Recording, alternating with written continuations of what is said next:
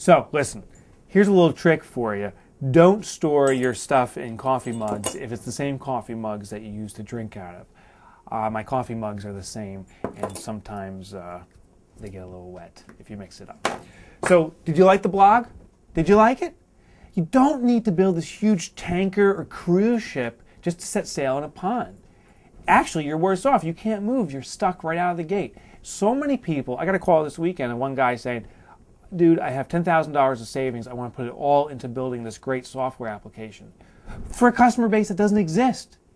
Listen, when you're starting out, you're in a small pond. You got very few customers. You don't know what the demand's going to be like. You don't know what you're going to be doing. Things may change. If you're going to set sail in a pond, which all small businesses do, set sail in a canoe, in a sunfish. Don't build a tanker ship until you're in the ocean. Then you get a tanker ship and you know how to sail. Did you see uh, you see the magazine from Young Money just came?